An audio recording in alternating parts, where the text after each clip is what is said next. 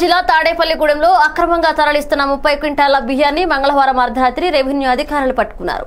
స్థానిక టీటీడీ కళ్యాణ మండప సమీపంలో బియ్యాన్ని తరలిస్తున్న మినీ లారీని సివిల్ సప్లై డిప్యూటీ తహసీల్దార్ సీతారత్నం స్వాధీనం చేసుకున్నారు. తనకు వచ్చిన సమాచారం మేరకు ఈ దాడి చేసినట్లు చెప్పారు. డ్రైవర్ క్లీనర్ పరారీలో మినీ లారీని సీజ్ చేసినట్లు పట్టణ పోలీసులకు అప్పగించారు. లారీలో ఉన్నవి పీడీఎస్ బియ్యం అయితే ఆర్ఏ సెక్షన్ కింద కేసు నమోదు చేస్తామని అని చెప్పారు.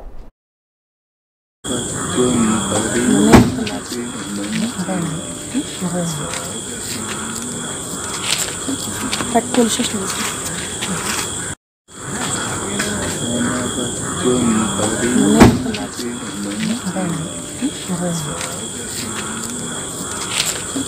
పట్టు స్టేషన్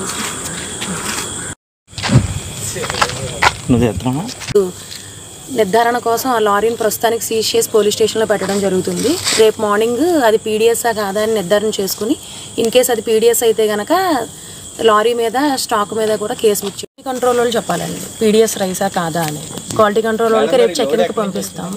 ఇది అక్కడ నుంచి లోడ్ అయిందని ఉందండి. షాప్ మీద ఏమైనా యాక్షన్ ఉంటుందని అది ఇప్పుడు మీరు షాప్ మీద కూడా రేపు రైడ్ చేస్తాము. ఒకసారి లారీ డ్రైవర్ని కూడా కంట్రోల్లోకి తీసుకొని అతను ఎక్కడి నుంచి స్టాక్ తీసుకొస్తున్నాడు ఏంటనేది ఎంక్వైరీ చేసి ఏ రేషన్ షాప్ నుంచి అయితే తీసుకొస్తున్నానో అతను చెప్తాడో ఆ రేషన్ షాప్లో కూడా ground balance e POS balance check చేసి ఇన్ కేస్ అక్కడ కూడా వేరియేషన్స్ ఉంటే షాప్ పై కూడా సిక్స్ ఏ కేసు నమోదు చేయడం జరుగుతుంది.